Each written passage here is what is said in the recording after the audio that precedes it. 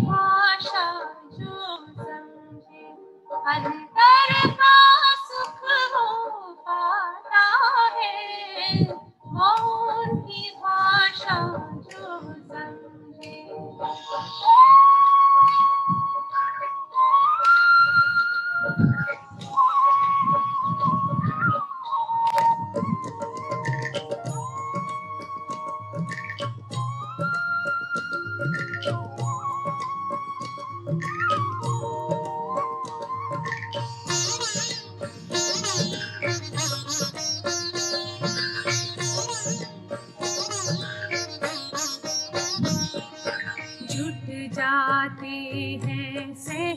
ही शिव से मन के सब ही तार हो। मन ही मन में भर जाती है अखुट शक्ति अपार।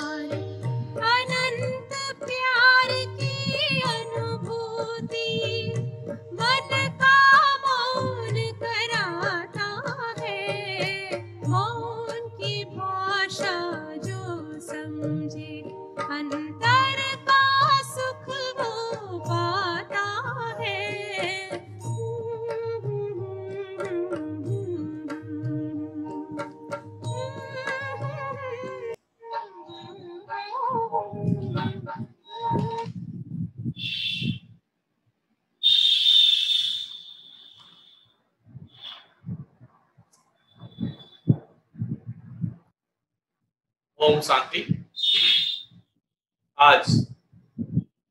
मधुर कार्ड, डिजिटल मीडिया, टीम की सौजन्य से आज की मूर्ति का, हम अत्यंत विशेष मूर्ति का एक नया सीरीज़ स्टार्ट कर रहे हैं।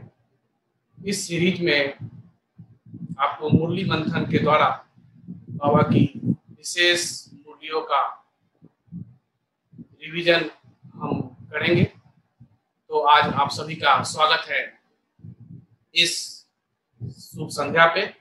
आज दुनियावी हिसाब से नवरात्रा का भी आगाज़ हुआ है, जहाँ देवियों की पूजा भारत में स्टार्ट हुआ। और कहते हैं कि नया वर्ष भी हिंदू कैलेंडर के हिसाब से शुरू हुआ है। तो ऐसे शुभ दिन पे आप सबको, भारतवासियों को शुभकामनाएँ। और साथ ही साथ हमारे साथ मैं हूँ अरविंद भाई और साथ साथ हमारे साथ बैठे हैं भास्कर भाई। तो आज की मुरली जो है, मैं भास्कर भाई से ही पूछना चाहूँगा कि आज की मुरली, बाकी दिनों की मुरली से विशेष कैसे है? क्योंकि आज सबको पता होगा, जिन ब्राह्मण बच्चों ने आज मुरली सुनी होगी। तो उसमें बाबा ने विशेष जो बाबा का जो एक चलाने की जो धारा थी मुरली, और बच्चों को जो आवाहन दे रहे थे बाबा, उसमें एक विशेष कशिश हम सबने अनुभव किया होगा। और मैं समझता हूँ कि भास्कर भाई इसको अच्छे से स्पष्ट करें। आप सभी को ओम शांति।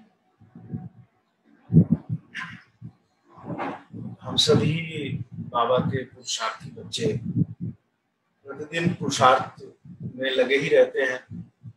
श्वासोश्वास बाबा की याद और सेवा में लगे ही रहते हैं। और प्यारे बाबा रोज हमें ज्ञान रत्नों से भरपूर करते रहते हैं। लेकिन आमतौर पे हम देखते हैं कि संडे की अव्यक्त मुरली में हमें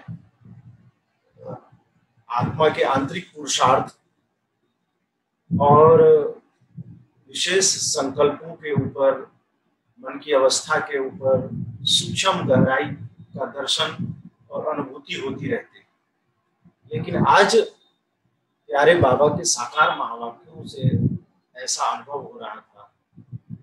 जैसे कि हम बाबा के अन्य साकार रूप से चले महावाक्यों में देखते हैं कि उसमें ज्ञान का विस्तार, सृष्टि के आदि मध्य अंत के ज्ञान का विस्तार और बहुत रमणीकता से बाबा जो है बच्चों को पिता के रूप में मुरली सुनाते हैं। लेकिन आज की जो मुरली है, वो अत्यंत सूक्ष्म, गहरी और बहुत ही यूनिक है। कहीं पर भी ऐसे लग रहा था कि बाबा पूरी मुरली मुरली के चारों पेज में, पूरी मुरली में बाबा जो है आत्मा की जो सूक्ष्म पुरुषार्थ है वाचा कर्मना से लेकर संकल्प तक हम ब्राह्मण सूक्ष्म रूप से क्या पुरुषार्थ करें और किस प्रकार अपने को गहराई से अंतर्मुखी होकर जो दिव्य गुणों की धारणा है, उसको मन वचन कर्म संकल्प तक भी कैसे चेक करें? और आज बहुत ही गहराई से बाबा ने कहा कि संकल्प का भी जो कैसे बंधन होता है, उसकी बहुत सूक्ष्मता हम सबको अनुभव कराई। और कैसे हम अपने जीवन में अचल अडोल धैर्यवत, निर्भय, निर्लोभी, निर्मोही और बहुत ही प्यार से ऐसे लग रहा था कि एक पिता, टीचर, सतगुरु, साथ ही साथ धर्मराज भी बाबा अपने आत्मा बच्चों को फाइनल कर्मों की गति बता रहे हैं। तो आज की मुरली बहुत ही गहराई और बहुत ही अनुभव युक्त और आत्मा के पुरुषार्थ में तीव्र गति देने वाली मुरली है। हम सभी आप, अभी आपस में इस मुरली को बारी बारी से प्रश्नोत्तर के द्वारा आपस में चिट चैट चर्चा रिवीजन करेंगे। हमारे साथ अरविंद भाई हैं।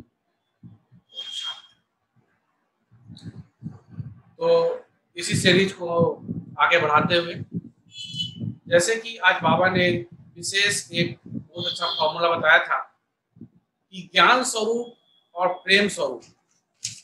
दो तो बातें बाबा ने बताया था ज्ञान स्वरूप में कैसे टिकना है और प्रेम स्वरूप में कैसे टिकना है। तो मैं भास्कर भाई से जानना चाहूँगा कि ज्ञान स्वरूप और प्रेम स्वरूप दोनों में बाबा ने किसमें टिकने के लिए पहले सलाह दिया और ऐसा क्यों? बाबा के मूल्यों से आप आज आज बाबा ने हम बच्चों को मुरली में विशेष रूप से ये अटेंशन दिलाया कि जैसे परमात्मा ईश्वर संपूर्ण ज्ञान रूप है वैसे उसके बाद फिर संपूर्ण प्रेम रूप भी है। जैसे ईश्वर में दोनों ही क्वालिटी समाई हुई है, परंतु फ़र्स्ट ज्ञान सेकंड प्रेम। अगर कोई पहले ज्ञान रूप बनने बिगर, बाबा आज के मूल्य में कहते हैं कि अगर कोई पहले ज्ञान रूप बनने बिगर सिर्फ़ प्रेम रूप बन जाता है तो वह प्रेम अशुद्ध खाते में ले जाता है।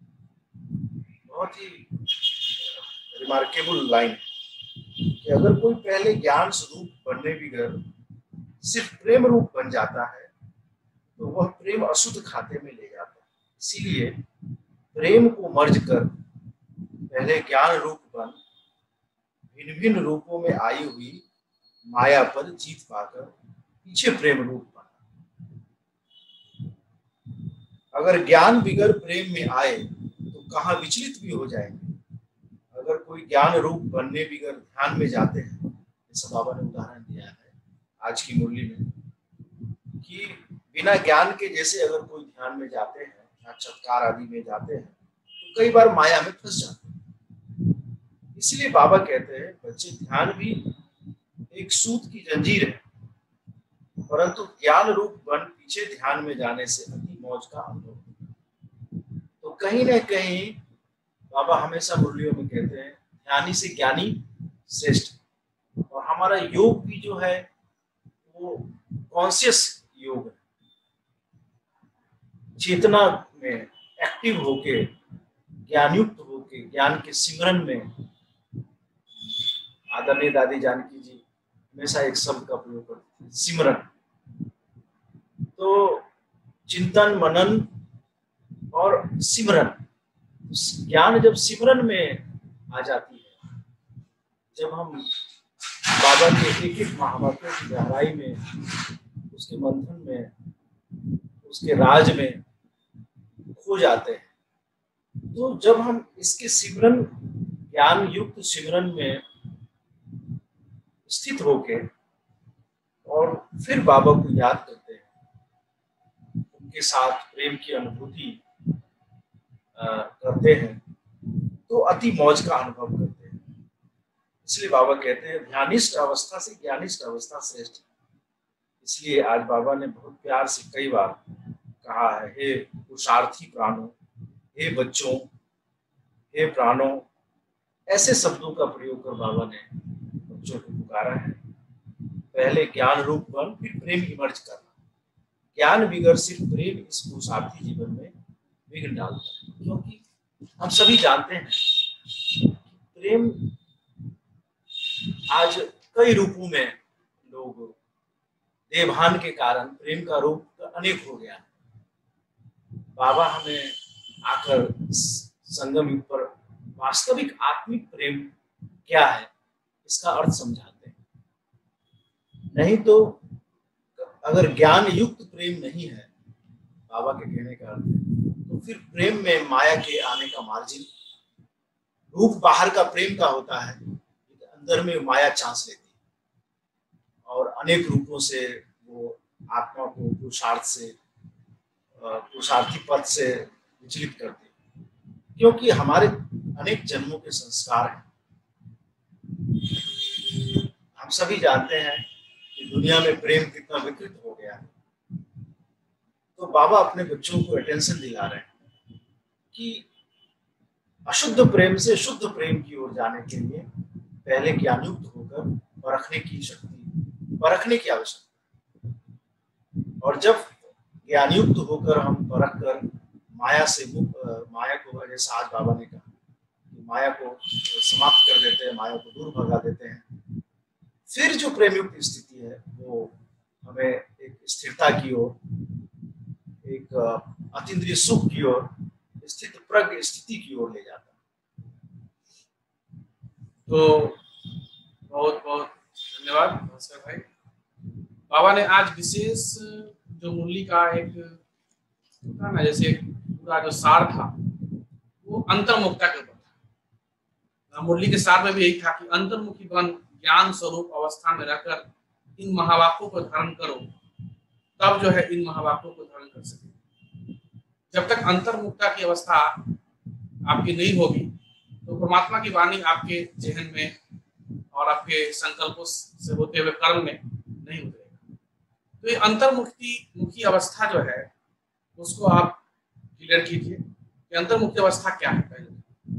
और दूसरा, साथ ही बाबा ने आज मुरली में अंतर्मुक्ता के बारे में कौन सी गहन बात बताई अंतर्मुक्ता की बहुत सरल अर्थ आदरणीय हमारी राजयोगिनी दीदी जी, रानी दीदी जी, आज सुबह मुरली में बहुत सरल शब्दों में बता रही थी कि अंतर मुखी अंतर जो मुखी, मुख का अर्थ है ध्यान। जैसे सन्मुख, अर्थात सामने की ओर ध्यान। अंतर। मन अंदर की ओर ध्यान। तो अंदर क्या है? अंदर आत्मा। है तो हमारा ध्यान हमेशा आत्मा की ओर रहे। यही वास्तव में अंतर्मुखता है। और हम देखते हैं। इसीलिए बाप प्यारे बाबा भी हमें घड़ी घड़ी अभ्यास दिलाते हैं बच्चे, अपने को विभूति के मध्य आत्मा आत्मा समझो। दूसरे को भी आत्मा देखो। आत्मा रूप से बात करो। तो आत्मा स्वरूप की स्मृति निरंतर बनी रहे। यही असल में अंतर्मुखता है। बाकी अंतर्मुखी होने के लिए हमें कहीं ना कहीं गहरा अपने अंदर की ओर जाने की आवश्यकता है। और उसके लिए अगर हमें बहुत आदत होता है बाहरी बातों में, बाहरी संसारिकता में, अनेक प्रकार की बातों में इंटरेस्ट तो तो अंदर की ओर जाने के लिए फिर हम ये विधि है कि हम कभी कभी मुख का मौन या मन का मौन रखते हैं। लेकिन वास्तव में आत्मा की ओर हमेशा स्मृति रहे, ध्यान रहे, यही सच्ची है। बाबा ने अंतर्मुखता से आज क्या स्पष्ट किया? मुरली के पॉइंट्स देखे तो अंतर्मुखता के बारे में विशेष बाबा ने आज मुरली में इस बातों को बाबा ने अंतर्मुखता से होने वाले फायदों फायदों की ओर हम बच्चों का ध्यान खिंचवाए। बाबा आज की मुरली में कहते हैं कि हर एक पुरुषार्थी बच्चे को पहले अंतर्मुख अवस्था अवश्य धारण करनी अंतर्मुखता में बड़ा ही कल्याण समाया हुआ इस अवस्था से ही अचल, स्थिर, धैर्यवत निर्माणचित इत्यादि दैवी गुणों की धारणा हो सकती है। राज अचल, स्थिर, धैर्यवत निर्माणचित इत्यादि दैवी गुणों की धारणा हो सकती है। तथा संपूर्ण ज्ञान में अवस्था प्राप्त हो सकती कितनी प्राप्तियाँ बाबा ने बहुत अच्छा आज इशारा किया हम बच्चों को कि अंतर्मुख न होने के कारण वह संपूर्ण ज्ञान रूप अवस्था नहीं प्राप्त संपूर्ण ज्ञान रूप रूप अवस्था प्राप्त करने के लिए अंतर्मुखी होना अवश्य अवश्य अवश्य भावी है, क्योंकि जो भी कुछ महावा के सन्मुख सुने जाते हैं, अगर उसे गहराई में जाकर ग्रहण नहीं करते, सिर्फ़ उन महावाक्यों को सुनकर रिपीट कर देते हैं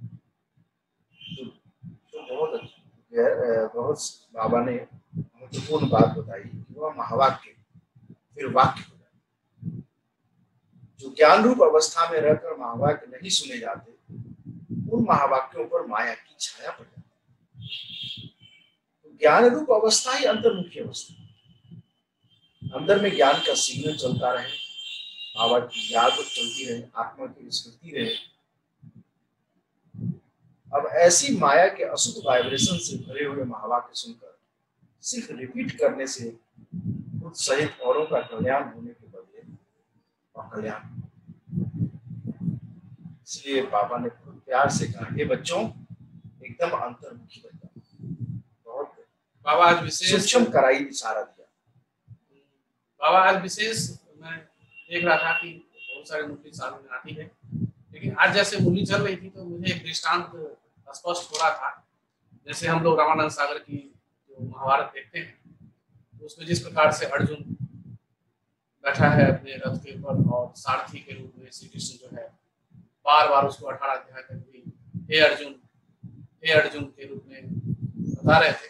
तो उस प्रकार से आज बाबा जो है, विशेष मैं समझता हूँ कि मैं पहली बार ही मुरली में इस तरह से बच्चों के प्रति जो है हे सारथी, हे प्राण, रुको। हे प्राण वेट एंड सी हे प्राण मतलब ऐसे करके बाबा अनुचारण कर रहे थे तो मुझे जैसे लग रहा था जैसे महाभारत का वो जो सीन सामने युद्ध चल रहा हो, युद्ध युद्ध की प्रकार पे खड़ा है दुनिया आज जो है भगवान उनको ललकार रहा है एक तरह से ये बच्चे, तुम्हारे अंदर दैवी गुण ऐसे धर्म होगी ज्ञान स्वरूप में ऐसे टिकना है, दैवी गुणों को करनी है तो अंतर्मुखता जो है आपका बेस है। ऐसा मुझे एक दृष्टांत शायद आपको भी मैं समझता हूँ। हाँ बिल्कुल। ऐसा ही और ऐसा अनुभव हो रहा था कि स्वयं भगवान साक्षात सामने गीता ज्ञान सुना रहे हैं और अपने आत्मा बच्चों को जगा रहे हैं। जगा रहे हैं। जैसे कि मैं कौन हूँ मैं क्या हूँ और मैं क्या कर रहा हूँ एक आईना दिखा रहे हैं। और आगे हमें कैसे करना है? तो हम समझते हैं कि हर एक पुरुषार्थी बाबा के बच्चों के लिए आज की मुरली एक मील का पत्थर ज़रूर क्योंकि और ये ये मुरली तो हम समझते हैं कि हमेशा अपने साथ रहे। हम्म, जिससे कि एक जैसा होता है ना कि रीजमिनेट अपने आप को करना है। क्योंकि आज हमने सुना कि सोशल मीडिया पे जयंती बहन आज में रात है, में साढ़े नौ बजे भारतीय समय अनुसार रात के साढ़े नौ बजे। अभी थोड़ी देर बाद ही एक घंटे बाद जयंती बहन लंदन से इस मूवी को रिविजन करेंगे तो उसको भी हम सुनेंगे। और क्योंकि विशेष मुझे भी टच हुआ और आज विशेष दिन भी था तो हमें और भास्कर भाई दोनों को भी टच हुआ तो मैंने सोचा चलो क्यों ना हम इसको शाम के समय रिवीजन भी करेंगे आगे देखिए बाबा कितनी महत्वपूर्ण आगे मैं आपसे ये जानना चाहूँगा कि बाबा ने आज सर्वोत्तम जो है सर्विस कौन सी बताई? कि सर्वोत्तम सर्विस कौन सी? आज की मुरली से आप स्पष्ट कीजिए। मैं सर्वोत्तम सर्विस के बारे में आ, हम चर्चा करें उससे पहले हमें एक लाइन बहुत अच्छा लगा जो हम सुनाना चाहते हैं। बाबा कहते हैं आपका यह मन मंदिर सदृश है। मन मंदिर सदृश है। सर्विस जैसे मंदिर से सदैव खुशबू आती है ऐसे मन मंदिर पर जब पवित्र बनता है संकल्प भी पवित्र बन है जैसे मंदिर में सिर्फ़ पवित्र देवी देवताओं के चित्र रखे जाते हैं, ना कि दैत्यों ऐसे तुम बच्चे अपने मन व दिल रूपी मंदिर को सर्व ईश्वरीय गुणों की मूर्तियों से सजा वो ईश्वरीय गुण कौन कौन से हैं? तो बाबा ने देखिए कितना अच्छा कीर्ति कराया। वे गुण है निर्मोह, निर्लोभ, निर्भय, धैर्यवत, निरहंकार। निर्मोह, निर्लोभ, निर्भय, धैर्यवत और निरहंकार क्योंकि यह सब तुम्हारे ही दिव्य लक्ष्य ये पॉइंट हमें बहुत गहराई पर ये निर्मोह निर्लोभ, निर्भय ये हमारे दिव्य लक्षण है। और इसी में हमें टिकना तो आज आते हैं फिर आपके प्रश्न पर। आज की मुरली में बाबा ने सर- सर्विस की बहुत ही यथार्थ मैं थोड़ा और भी क्लियर करना चाहूँगा। जैसे कहा कि मंदिर जो है, आपका ये शरीर है। और मन जो है आपका जो है अंदर की मूर्ति तो मंदिर में जिस प्रकार सुगंध निकलती है तो आपकी मूर्ति मतलब मन रूपी मूर्ति में संकल्प रूपी सुगंध, पुष्प अगर सुगंधित होगा, तभी तो मंदिर में खुशबू आएगी तो बहुत ही स्पष्ट मन और मंदिर कैसे खुशबू- खुशबूदार बने, उसके लिए तो हमारा क्वेश्चन था कि सर्वोत्तम सर्विस कौन सी आज की मूवी से आप स्पष्ट कीजिए। आज बाबा ने बहुत सर्विस की अति सूक्ष्म और महीन राज सीक्रेट जैसे कि कोई भी मॉड्यूल कोई भी मॉडल अगर सक्सेस होता है तो फिर लोग उस मॉडल का सीक्रेट पूछते हैं। चाहे वो कोई बिज़नेस मॉडल हो, चाहे वो कोई भी क्षेत्र में जब कोई सफल हो जाता है। तो आज बाबा ने यथार्थ सेवा का जो मॉडल है, बाबा के बच्चों के लिए, उसका सीक्रेट क्या? राज क्या? है कभी इतनी गहराई से बाबा बहुत रेयर इशारा करते हैं। लेकिन आज बाबा ने उस सीक्रेट खोल दिया। समझिए कि खजाने की असली चाबी आज दी। तो आज बाबा ने बहुत कहा कि बच्चे, जब किसी से कोई भूल होती है उसे सावधान करने के साथ सूक्ष्म रीति से योग शक्ति उन तक पहुँचा कर, उनके अशुद्ध संकल्पों को भस्म कर। और ये भी अपने ऊपर अटेंशन देना कि उसको उसको योग शक्ति उससे पहुँच रहा है, लेकिन उसके अवगुण के कारण हमारे अंदर कोई अशुद्ध संकल्प होता है। अवगुण उसका, भूल उसकी, पर उसके अवगुण और भूल के कारण हमारे अंदर कोई अशुभ संकल्प इसमें खुद को सावधान रहना और दूसरों प्रति ऐसी दिव्य सर्विस करना यही सर्विस का सुख। बाबा ने कहा कि अगर अ, अगर हम मनसा में उसके भूल और उसके अवगुण के कारण हमारे अंदर कोई अशुभ संकल्प उत्पन्न होता है तो उसका वाइब्रेशन अन्य के पास जाके सूक्ष्म रीति से और होता है जिसका बोध वापस हमको खुद पर आता है तो गलती किसी और की भूल किसी और का, लेकिन वो बोझ हमारे ऊपर बड़ी सूक्ष्म जो है सर्विस की विधि है। इसलिए बाबा ने कहा, हे बच्चों, खुद सावधान रहो, फिर अन्य प्रति वही दिव्य सर्विस यही आप सेवाधारी बच्चों का अलौकिक कर्तव्य है और यही सर्वोत्तम सर्विस है। ऐसी सर्विस करने वालों को फिर अपने प्रति कोई भी सर्विस नहीं है। भल कभी कोई अनायास भूल हो भी जाए तो उसे अपने बुद्धियोग बल से सदैव के लिए करेक्ट कर देना। ऐसे तीव्र पुरुषार्थी थोड़ा इशारा मिलने से शीघ्र महसूस करके परिवर्तन करते और आगे के लिए अच्छी रीति अटेंशन रखने चलते हैं। यही विशाल बुद्धि बच्चों का दिव्य कर्तव्य जैसे बाबा ने अटेंशन दिलवाया कि मनसा में भी कोई अशुभ संकल्प ना आए। और साथ साथ जो है, खुद भी सावधान रहना है और दूसरे को भी सर्वोत्तम दान देना है। तो कहा कि अपने खुद कल्याण का इशारा नहीं बल्कि अपने योग के प्रकंपनों से उसके संकल्पों को भी जलाना है। उसके संकल्प। को जलाना है। ये असली सहयोग असली सहयोग है। और फिर उस संकल्प का हमारे ऊपर नहीं चले। हम्म। उन्होंने कहा इसके लिए सावधान रहना है। और दूसरे के प्रति सर्वोत्तम जो है जो ये आप कर रहे हैं ये सर्वोत्तम दान है और यही सर्वोत्तम सेवा तो आज बहुत बाबा ने इसको स्पष्ट से बताया। तो आगे हम बढ़ते हैं। और एक क्वेश्चन है कि धैर्यवत अवस्था का गुण धारण के लिए बाबा ने मुरली में क्या विधि बताई धैर्यवत अवस्था आपकी बनी रहे, इसके लिए बाबा ने स्पष्ट एक फॉर्मूला जो है बताया है धैर्यवत अवस्था धारण करने के लिए बाबा ने एक बहुत ही सुंदर यूनिक विधि बताई। उसका अर्थ बताया बाबा ने कहा कि धैर्यवत अवस्था धारण करने का जो मुख्य फाउंडेशन है, वो है wait and see wait and see बाबा ने बहुत प्यार से कहा, हे मेरे प्रिय बच्चों, देखिए, शब्दों पर भी कितना आज की मूल्य में हे मेरे प्रिय बच्चों वेट एंड सी का अर्थ है वेट एंड सी वेट अर्थात धैर्य धर्म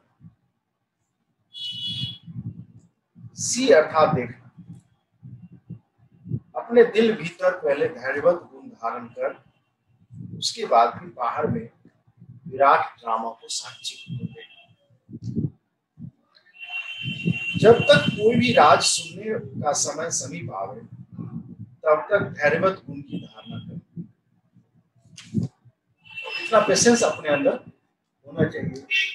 कोई भी राज हम सुने, तब तक वेट करें। समय आने पर उस धैर्यता के गुण से राज सुनने में कभी विचलित नहीं इसलिए हे पुरुषार्थी प्राणो, जरा ठहरो। ऐसा लग रहा है जैसे कि अंगुली कह रहे ठहरो कौन हे पुरुषार्थी प्राणो। जरा ठहरो। जरा ठहरो। और आगे बढ़कर राज देखते चलो। ये बड़ा ये ये आत्मा के ठहरने की बात। जैसे हमको याद आता है कि हम बच्चों में पढ़ते थे की कहा तो उसने कहा रुको मुली माल ने कहा बुद्ध को रुको। तो बुद्ध ने कहा हम तो रुक गए हम तो ठहर गए। उसने कहा ठहरो। तो बुद्ध ने कहा हम तो ठहर गए तुम कब ठहरो उसको करंट की फीलिंग सब हमसे डरता है और ये कौन सा है? कौन से ठहरने की बात है? तो उसका राज फिर बुद्ध ने उसको हम तो कब का ठहर चुके। उसी तरह ये आज आत्मा को ठहरने की बात है। आत्मा की स्थिति को ठहरने की बात है। जरा ठहरो। और आगे बढ़कर राज देखते चलो। इस इसी धैर्यवत अवस्था से सारा कर्तव्य संपूर्ण रीति से सिद्ध होता है। यह गुण निश्चय से बंधा हुआ ऐसे निश्चय बुद्धि क्योंकि निश्चय चाहिए ना। नहीं तो फिर विचलित हो जाएगा, ऐसा क्यों? ऐसा क्यों हो रहा है? ऐसा भी होता है। ये ये क्या हो रहा है? समझ में नहीं आ रहा। बहुत सारे संकल्प चले लेकिन अगर हमें निश्चय है, बाबा में, बाबा के महावाक्यों में, संगम युग में, भगवान आया है, इस संकल्प में कल परसों ही बाबा ने कहा था कि स्वयं भगवान आया है कल स्वयं भगवान आया है, पहले इस बात में निश्चय फिर ब्राह्मण परिवार ये भगवान के सेलेक्ट की हुई आत्माएँ ये ये साधारण आत्माएँ नहीं है, वर्तमान में दिख रही है, चेहरे से साधारण। है सत्युग में, वो देवी देवता है, डबल तार ब्राह्मण परिवार में निश्चय ईश्वरीय सर्विस में निश्चय एक एक आत्मा के पार्ट में निश्चय तो निश्चय बड़ा सब है, सुनने में सरल। बहुत ही निश्चय जो है सबसे पूरे ज्ञान का जो सार है एक ही शब्द में वो निश्चय। तो निश्चय बुद्धि साक्षी दृष्टा को हो हर खेल को हर्षित चेहरे से देखते आंतरिक धैर्यवत और अडोल रहते रहे। सारी आंतरिक आंतरिक धैर्य की बात हो रही आंतरिक मन अंदर से काम अंदर से स्थिर अंदर से निश्चय बुद्धि। है। ऐसे भी कहते हैं जो हो रहा है ये ड्रामा अनुसार हो रहा है। और कल पहले भी हुआ था। और बाबा जो खेल कहते हैं कि कठपुतली हम हैं नचाने वाला वो भक्ति में भी कहते हैं। हम सब कठपुतलियाँ हैं वो डायरेक्टर है। और हर एक सीन में कल्याण समाया हुआ है। जैसे जैसे राज खुलता जाता है वैसे वैसे वो अंदर से वो ऐसे कहते हैं ना कि अंदर की जो अवस्था आपकी शांत होती है तो बाहर की जो सिचुएशन वो भी अकॉर्डिंग टू द सिचुएशन आपकी अंदर की अवस्था उसके है। और शांत तब होगा जब आज बाबा ने कहा अंतर्मुखी होंगे। निश्चय होगा बाबा के महावाक्यों पर। लेकिन जनरली होता क्या है कि और हर एक आत्मा के पाठ पर भी। जनरली होता है कि हम जब बाहर की नज़र देखते हैं तो अंदर भी नज़र जाता है। लेकिन बाबा ने कहा अंतर्मुखता की अवस्था में रहेंगे धैर्यवंत अवस्था में रहेंगे तो वेट एंड सी ने इसे कहा वेट एंड सी वेट करो। और अपनी अवस्था को चेक करो। अपनी बाहर की अवस्था में देखो कि हाँ क्या हैं। साक्षी हो। तो उस अवस्था-। दुनिया में भी देखेंगे कि अगर अंदर से हम शांत है तो बाहर कितना भी हलचल है आप भीड़ में भी अकेले हो सकते हैं। और कहते हैं ना कि पेशेंस अंग्रेज़ी में शब्द है धैर्यता को पेशेंस कहते हैं। जो पेशेंस नहीं रखता वो पेशेंट और अगर पेशेंस है तो बहुत सारी बीमारियाँ भी कंट्रोल में आ जाती हैं। तो अंदर का पेशेंस। तो विशेष बाबा ने धैर्यवत अवस्था को जो धारण करने का जो एक फाउंडेशन बताया बेस बताया। परिश्रम इसलिए बाबा ने कहा परिश्रम करना देखिए परिश्रम शब्द का यूज़ किया। कि यही ज्ञान की परिपक्व अवस्था है। ये धैर्यवत आंतरिक धैर्यवत और अडोल रहित ज्ञान की परिपक्व अवस्था है जो अंत में संपूर्णता के समय प्रैक्टिकल में रहती है। इसीलिए बहुत समय से लेकर इस साक्षीपन की अवस्था में स्थित रहने का परिश्रम पुरुषार्थ। परिश्रम शब्द का बाबा ने आज यूज़ किया। करना ये परिश्रम करना। तो इस प्रकार से बाबा ने आज मूल आधार बताया होने का वेट एंड सी। तो बाबा ने बहुत अच्छे कहा मतलब शॉर्ट में बाबा ने और एक एक चीज़ जो और हमको अच्छा लगा। वो कि हम हम सरल शब्दों में कहते हैं, हम तो समर्पित हो गए। या बाबा के घर में आ गए। तो ये अच्छी बात है। हम बाबा के पास आ गए, यज्ञ में आ गए तो समर्पित, स्थूल रूप से तो हम समर्पित हो गए। बाहरी रूप से तो दिखता है कि हम सेवा केंद्र पर रहते हैं या मधुबन में रहते हैं। लेकिन आज बाबा ने संपूर्ण समर्पण का, संपूर्ण स्वाहा होने का बड़ी गहराई राज बताया। वो हम चाहते हैं कि बाबा के महावाक्यों को पढ़ें। आज बाबा कहते हैं, हे मेरे प्राणों परमात्मा द्वारा रचे हुए इस अविनाशी राजस्व ज्ञान यज्ञ प्रति तन, मन, धन को संपूर्ण रीति से स्वाहा करने का राज बहुत नहीं है ना? बहुत गहरा है। जिस घड़ी आप कहते हो मैं तन मन धन सहित यज्ञ में स्वाहा अर्थात अर्पण मर चुका उस घड़ी से लेकर अपना कुछ भी नहीं रहा। उस घड़ी से अपना कुछ भी नहीं कुछ भी नहीं रहा। उसमें भी पहले तन मन की संपूर्ण रीति से सर्विस में लगा। संपूर्ण रीति से सर्विस में लगा। जब सब कुछ यज्ञ अवस्था अथवा परमात्मा के प्रति है फिर अपने प्रति कुछ रह नहीं सकता।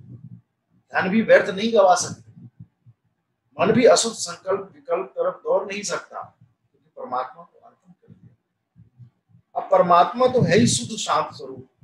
इस कारण अशुद्ध संकल्प स्वतः शांत हो जाता अगर मन माया के हाथ में दे देते हो तो माया वैरायटी रूप होने के कारण अनेक प्रकार के विकल्प उत्पन्न कर मन रूपी घोड़े पर आय सवारी कर अगर किसी बच्चे को अभी तक भी संकल्प विकल्प आते हैं तो बाबा ने थर्मामीटर आज दिया मुरली में, समझना चाहिए कि अभी मन पूर्ण रीति से स्वाहा नहीं हुआ। अर्थात ईश्वरीय मन नहीं बना। इसलिए हे सर्व त्यागी बच्चों, इस पूरी राज को समझ, कर्म करते साक्षी हो, खुद को देख बहुत बहुत खबरदारी से चल। बाबा समझाने के साथ टाइटल भी दे रहे हे। सब त्यागी बच्चों, सब कुछ तो त्याग दिया। दिन की पहले सबसे पहला मन का समर्पण। अगर मन ईश्वर का नहीं बना है ईश्वरीय नहीं बना है मन अ, माया उस पर सवार होकर अपना काम करे मैं इसको थोड़ा और स्पष्ट करना चाहूँगा। एक बार पीछे दो साल पहले मुंडी चली थी उसमें बाबा ने वही संपूर्ण त्याग के बारे में स्पष्ट किया था कि हम भाई बहन दुनिया की लौकिक रीति से भी सारे संबंधों को त्याग देते हैं। लौकिक देखेंगे तो सारे संबंध दुनिया की सारी बातें जॉब बहुत सारी जो लौकिकता की जो हम बातें पहले रहते हैं मेटलिस्टिक वर्ल्ड को हम त्याग कर यहाँ आते हैं। और यहाँ आने के बाद भी हम सूक्ष्म गोल्डन सिल्वर लाइन का जो एक धागा होता है थ्रेड होता है, उसको पकड़ के बैठ जाते हैं। दुनिया त्याग दिया, घर त्याग दिया, बाप त्याग दिया, परिवार त्याग दिया, उस गृहस्थ जीवन को आपने त्याग दिया, एक ब्रह्मचर्य के जीवन में आकर सब सर्व त्यागी बन गए। जस्ट लाइक अ मॉन्क की लाइफ आप जी रहे हैं। और फिर भी यहाँ पर भी एक सिल्वर थ्रेड गोल्डन थ्रेड उसको पकड़ के बैठे। पूरा समझिए कि ड्रेस आपने त्याग दिया लेकिन धागा को पकड़ा हुआ तो वो बाबा कहते हैं कहीं कहीं आपके वो हमारी समर्पणता की क्वालिटी को कम कर। कम करते बाबा कहते मेरा सेंटर मेरा आइडिया मेरा परिवार मेरा ब्राह्मण परिवार मेरे जिज्ञासु मैंने इनको ज्ञान में लाया। ये छोटी छोटी बातें होती है जो आपको एक सिल्वर थ्रेड गोल्डन थ्रेड के रूप में कहीं रोकती है। मेरा ग्रुप मेरा ग्रुप ये जो बाबा, ये मूली की बात है, मैं मुझे बड़ा अच्छा लगा। तीन हफ़्ता तक लगातार ऐसी मूली चली थी संडे संडे। सवाल ने बताया था फिर बच्चे को आओ और बताएँगे। वो सिल्वर थ्रेड और गोल्डन थ्रेड की बात की थी बाबा ने ये सब कुछ तो त्याग दिया। लेकिन यहाँ आकर भी मैं मैं और मेरा अभी तक छूटा नहीं। छोटी छोटी बातों में कि मेरा परिवार, ये मेरा भाई, ये मेरा अलौकिक परिवार, भले अलौकिक ही है, लेकिन मेरा तो कहा, ये भी एक सिल्वर और गोल्डन थ्रेड है। तो उसी को मैंने याद आया। ये सब भी सर्वस्व त्यागी बनना है। और ये मेरे सर्वस्व त्यागी पता ना? हाँ। सर्वस्व का सब सर्वस्व मतलब ये देह भी अपना नहीं देह भी अपना नहीं है तो क्या अपना है? तो वो वाला ये वैरागी मन जो है हमेशा नशे के साथ रहना चाहिए। और देखिए टाइटल क्या क्या दिया? स्वयं गोपी बल्लभ तुम अपने प्रिय गो गोपियों को समझा रहे हैं तुम हरेक का वास्तविक सच्चा प्रेम कौन सा है? हे प्राणो। कई बार बाबा ने इसको समझा। हाँ, हे प्राण। हे प्राणो। जब जब हे प्राण बोल रहे थे तो मुझे वो युद्ध का रणभूमि याद आ रहा था। तुम्हें एक दो की प्रेम भरी सावधानी को स्वीकार कर क्योंकि जितना प्रिय फूल उतना ही श्रेष्ठ परवरिश फूल को अवेलेबल बनाने अर्थ माली को कांटों से निकलना ही पड़ता है।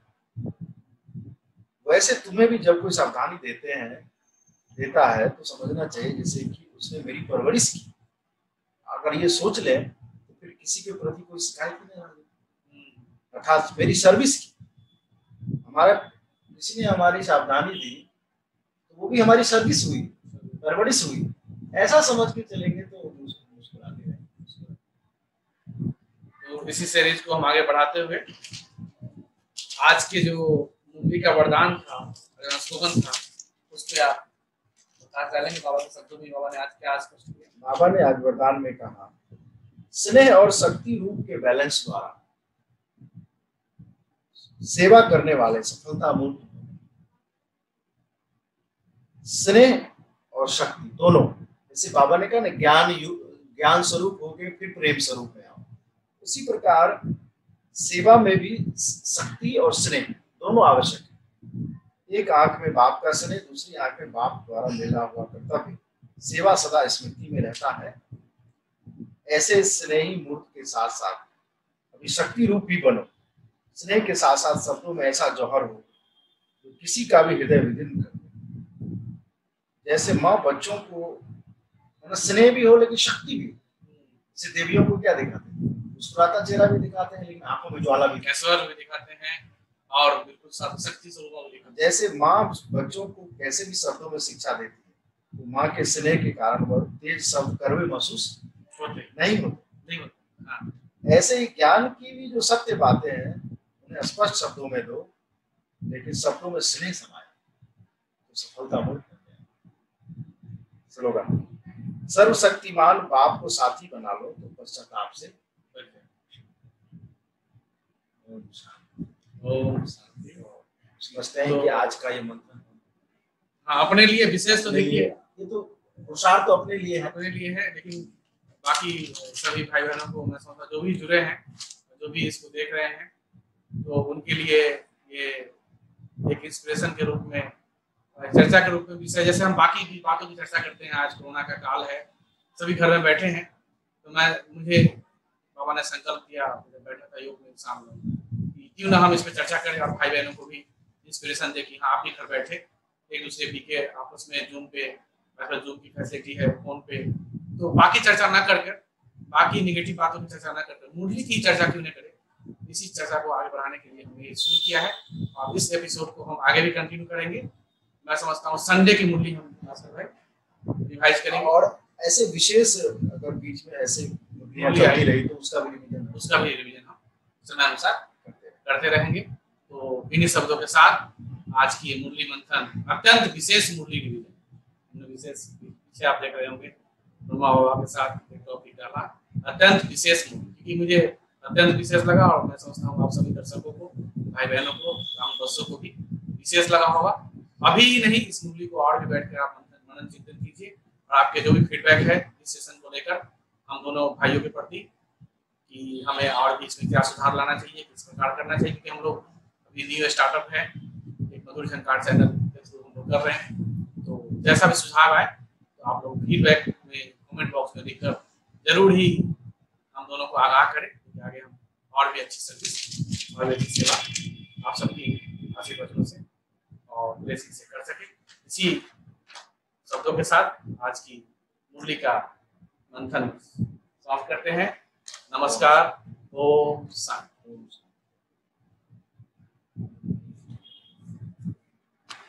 प्यारा सा एक गीत सुनेंगे, भास्कर भाई, बाबा का, और फिर इस सेशन